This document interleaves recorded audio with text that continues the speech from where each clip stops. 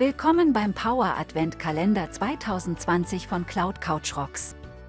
Hier sind eure Moderatoren Stefan und Tommy. Los geht's! Hallo und guten Tag zusammen. Hallo Stefan. Hey Tommy, alles klar? Bei mir ist alles klar. Willkommen bei Cloud Couch Rocks und bei dem Power Advent Kalender. Mein Name ist Tommy und Stefan hat ja schon alles klar gesagt. Heute mit einem roten Oberteil und ähm, ja, unserem, unserer Stadt als Aufschrift. Finde ich total super, Stefan. Cool. Ja, äh, heute habe ich ein kleines Thema mitgebracht. Heute geht es um das Thema Power Platform, Power Apps und Power Automate und PowerShell. Hey, wieder was mit Power. Und zwar gibt es eine PowerShell-Unterstützung für Power Apps. Die URL ist hier oben zu sehen. Die werde ich dann auch posten im äh, wenn das Video veröffentlicht ist, und am Video, also irgendwo da unten dann, ist da gucken. Ähm, und es gibt so ein paar Möglichkeiten, die uns ähm, hier geliefert werden. Wichtig zu wissen ist, ihr braucht, wenn ihr das verwenden wollt, einmal das PowerShell-Modul Power Apps Administration PowerShell und Power Apps PowerShell. Und hier steht zwar überall Power Apps und das kann ich schon mal vorweg sagen, äh, es geht auch für Power Automate. Wenn ihr keine Adminrechte habt, könnt ihr hier unten oder könnt ihr folgende Befehle ausführen. Das sind die, die hier sind. Und dann geht es eigentlich schon los. Ich schwenke mal gleich rüber, schiebe das Fenster hier mal hier rüber und nehme mir mal das Fenster hier, mache es mal ein bisschen größer. Also, ich habe das auch gemacht. Die Voraussetzung, damit das Ganze läuft, ist, dass PowerShell in der Version 5 aufwärts da ist. Ich habe hier 5.1 und ähm, ich habe die Module installiert. Ich hatte Adminrechte. Was dann noch zu tun ist, ist die Execution Policy zu setzen, damit überhaupt irgendwas geht. Und danach gibt es den ganz tollen Befehl add Power Apps Account. Und mit dem kriegt ihr eine Abfrage wo ihr dann, ich nehme uns zweimal mit dazu wieder, wo ihr dann den Benutzer eintragen könnt, mit dem ihr die Befehle dann ausprobieren wollt. Damit ist für die Session, die jetzt hier quasi offen ist, der ähm, Benutzerkontext gesetzt. Und ich sehe schon, vielleicht noch ein Stück hier runter. ähm, ja, und was können wir als erstes mal machen? Als erstes versuchen wir mal den Befehl get Power App Environment. Und was kriegen wir zurück? Wir kriegen Environments zurück. Wo kann ich das noch sehen? Das kann ich noch sehen. Wenn ich bei admin.powerplatform.microsoft.com gucke, hier sind meine drei Umgebungen und genau die drei Umgebungen habe ich hier auch was bei den ganzen PowerShell-Geschichten jetzt auch immer auffallen wird, ups, immer in die Richtung, ist, dass wir hier verschiedenste Geschichten haben. Wichtig ist immer, gerade hier an der Stelle, da steht Environment Name als Property und es ist eine GUID. Das wird uns ganz oft bei der Geschichte über den Weg laufen. Der Display Name, nämlich der da kommt, das ist der hier an der Stelle. Teamsfest in dem Fall. Das ist ja eigentlich das, was uns als Menschen interessiert, aber in der Regel, wenn es hier um die Befehle geht und irgendwas mit Name da steht, ist es immer so eine GUID. Also immer GUID. Ähm, was wir noch sehen können ist, ich habe ein Environment, das ist Default und ähm, die anderen sind es nicht. Ihr könnt sehen, in welcher Location das Ganze ist und was, ähm, ja, wann es äh, ähm, erstellt wurde. Und es gibt weiterhin noch Get Flow Environment. Ich kriege die gleichen zurück, da brauche ich gar nicht drauf gucken. Ähm, der nächste Part, den es gibt, ist Get Power App. Wenn ich Get Power App aufrufe, dann, auch das muss ich ein bisschen größer machen, kriege ich, nehme ich mal kurz raus hier oder schiebe das Fenster in die Mitte gleich, kriege ich die Power Apps, die ich habe. Und es gibt hier die Test TTT und noch eine andere und noch eine andere. Und auch hier, wenn man sich die Power Apps oder die Informationen, die man zurückguckt, anschaut, auch hier gibt es wieder einen Namen. Oh, geht aus dem Bild raus. Also auch hier wieder ein App-Namen, das eine GUID ist an der Stelle und darunter den Display-Name. Und auch hier, zu welchem Environment das dazugehört. Als Information. Also könnte man jetzt schon mal sagen, hey, in welchem Environment habe ich eigentlich welche Power Apps? Das könnte man damit sich rausfischen. Auch ein Remove Power App, Publish Power App, den Display Name können wir ändern oder die Versionsanzahl können wir uns rauslesen lassen und wir können auch eine bestimmte Power App Version wiederherstellen. Was es dann gibt, ist, ihr werdet schon merken, ich werde das ein oder andere überspringen, gibt es hier unten Get Flow. Mit Get Flow sehe ich Informationen zu einem Flow und zwar dem mit dem Namen was mit Twitter. Den habe ich nämlich auch hier. Da ist er. Und bei dem Befehl kann ich entweder abfragen über den Namen oder ich kann abfragen über den Namen, von dem ich vorhin die ganze Zeit gesprochen habe, dem eigentlichen Flow-Namen, nämlich der GUID. Wir können gucken, ob der Flow denn schon gelaufen ist. Ist er noch nicht. Ich kann den Flow deaktivieren. Wenn ich dann mal einen Refresh hier drüben mache, werdet ihr sehen, dass der Flow jetzt deaktiviert ist und ich kann ihn hiermit auch wieder aktivieren. Also sprich, über PowerShell habt ihr die Möglichkeit, Flows aufgrund von bestimmten Bedingungen, die ihr vielleicht vorgebt, zu aktivieren und zu deaktivieren. Da ist er wieder. Aktiviert in dem Fall. Ähm, ich gehe mal weiter. Was ist noch interessant? Noch interessant ist hier ein Beispiel Get Power App Connections. Die packe ich mal in so ein Grid View rein. Kann man hier eigentlich zoomen? Nee, kann man nicht. Mit Get Power App Connection bekomme ich alle Connections, die aktuell genutzt oder in Nutzung sind. Jetzt ist bei den Connections immer so ein bisschen darauf zu achten, dass der Connector-Name zum Beispiel, also wenn ihr jemanden einen, einen bestimmten Connector sucht, immer so ein Shared davor gestellt hat. Und danach kommt der Connector-Name vielleicht so, wie man ihn kennt. Also hier mit Teams, an der Stelle mit Twitter, ähm, SharePoint Online habe ich hier unten. Also das sind wirklich alle Connections, die ich benutzt habe hier in meinem Test-Environment. Das kriegt ihr über den Befehl. Was es noch gibt, ist der Befehl hier unten. Mit dem bekommt man alle Konnektoren raus, die es gibt. Falls ihr dann also später mal irgendwas suchen wollt oder eine Info haben wollt, äh, welche Konnektoren es gibt und wie die heißen, hier sehen wir wieder den Konnektornamen, Twitter, SharePoint Online, OneDrive for Business, Dynamics und so weiter und so fort.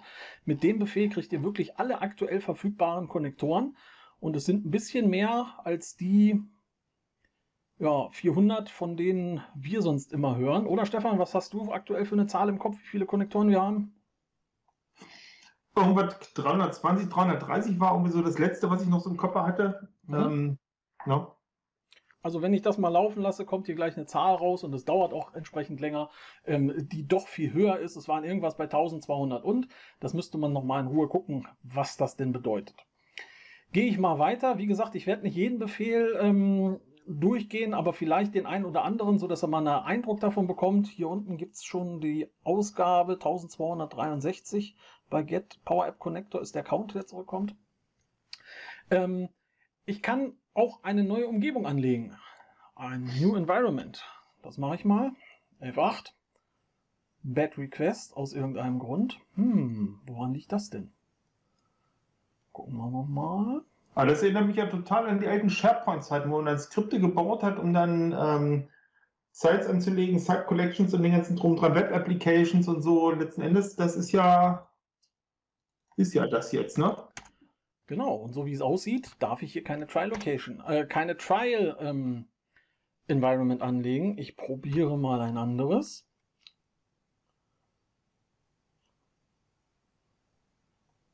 Darf ich auch nicht, weil hier brauche ich ein Gigabyte an freiem Speicher. das übliche Problem. Dann gucke ich mal, ob ich ein Production Environment anlegen kann. Auch hier wieder F8. Das geht auch nicht. Das liegt aber daran, weil ich jetzt für das Video in einem ganz speziellen Microsoft Demo Tenant bin und eben nicht in meinem Tenant. Also mit dem Befehl Environment SKU Trial mit der Location Europe und dem PowerShell kriegt ihr ein Environment angelegt. Könnt ihr mir glauben, funktioniert. Was auf jeden Fall auch geht, ist hier die Möglichkeit, sich anzugucken, wie viele Environments habe ich eigentlich. Drei Stück. Hier wieder, der Environment-Name ist die GUID, der Display-Name ist eigentlich das, was wir kennen. Es gibt ein Default-Environment, alle sind in Europe. Jetzt kann man sich ja fragen, hm, was gibt es denn eigentlich noch so für Locations? Und ähm, da gehe ich mal runter und gucke mir den Befehl. Da ist er doch schon. Get Locations. Boah, Hammer.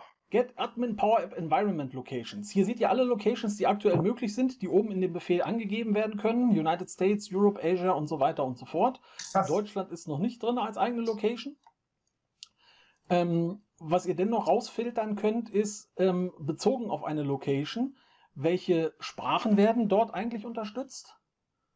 Auch da sind einige in Europe, die unterstützt werden.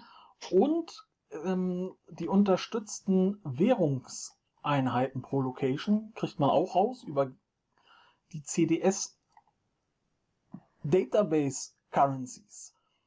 Also hier kriege ich die Locations, die ich auch habe und mit den beiden Befehlen get admin power app cds database languages und currencies kriege ich raus, welche Sprachen und welche, ähm, welche Währungen ich in dem System habe. Jetzt gibt es, was ihr vielleicht schon gesehen habt, hier vorne get flow, get power app und es gibt auch, und da waren wir jetzt, get admin Befehle. Also es gibt zwei Arten von Befehlen. Also einmal die Power Apps Commandlets für App-Ersteller. Hier seht ihr auf der Seite auch nochmal tatsächlich die Befehle hier alle so runter. Ich habe die alle mal genommen und hier in meiner Datei drin, um sie mal auszuprobieren und da mal Erfahrung zu kriegen. Und der zweite Teil ist eben Power App Commandlets für Administratoren. Die haben oft eben dieses Verb, Bindestrich, Admin und dann eben dahinter, was man damit machen kann. Ähm, es gibt noch ganz viele andere Themen und Geschichten, die wir hier durchgucken können, aber es gibt zwei Sachen, die ich euch ganz gerne zeigen wollen würde in dieser Folge. Und zwar fange ich mal damit an, dass ich von unserem Freund, dem Martin Gudel, ähm, auf Twitter mal gelesen habe, Mensch, wie kriege ich denn raus, in welcher Power App und in welchem Flow ich eigentlich einen bestimmten Connector habe. Und dafür habe ich ein PowerShell-Skript geschrieben, wo ich ähm, bezogen auf Power Apps zum Beispiel rauskriegen kann, ob ein bestimmter Connector in einer bestimmten Power App drin ist. Auch hier kommt als erstes erstmal die Abfrage, wer bin ich? Da kopiere ich mal die Credentials rein.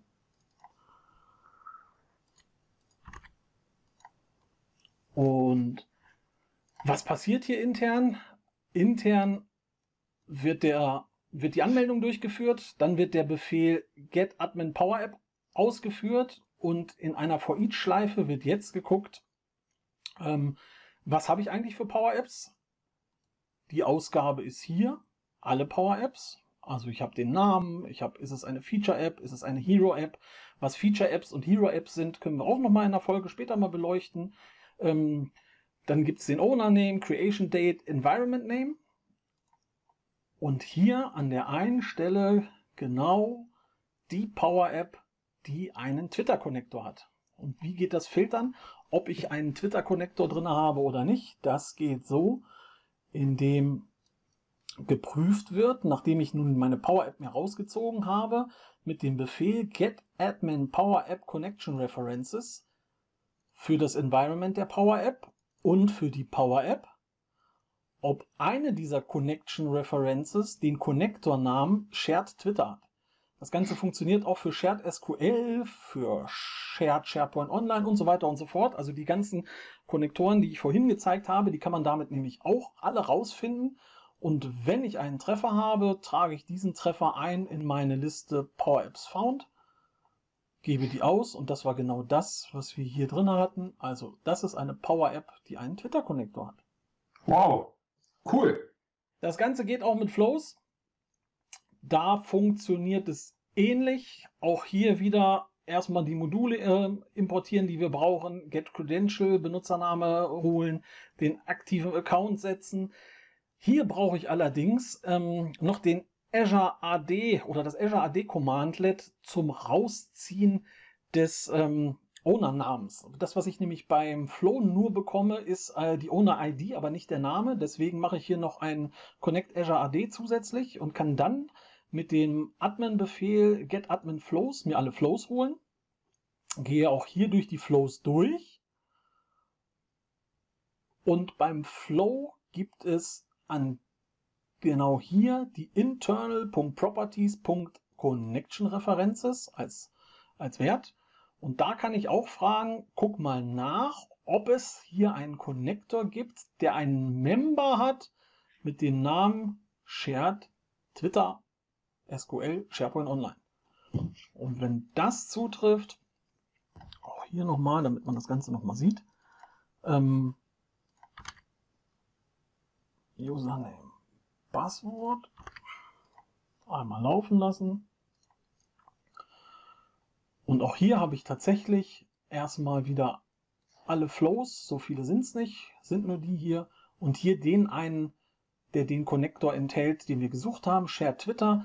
Das, was in All Connection References ansonsten drin steht, sind alle anderen Konnektoren, die auch innerhalb dieses Flows genutzt werden. Also wenn es mehr als einen gibt, so wie hier, SharePoint Online, Office 365 Users, ähm, Teams und Office 365 und und und, dann stehen die da nämlich alle drin. Und die Besonderheit, und das ist das, warum ich hier ein Get Member mache, ist nämlich die, dass wenn ich mir ähm, mal so eine Connection angucke, hier müsste ja die letzte gespe gespeichert sein, die wir brauchen, dann kriege ich bei der Connection nämlich hier unten